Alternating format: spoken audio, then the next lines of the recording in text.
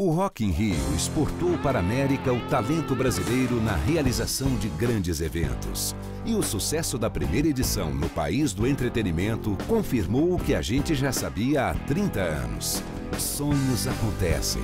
É só acreditar e persistir. A gente se vê em setembro, na Cidade do Rock.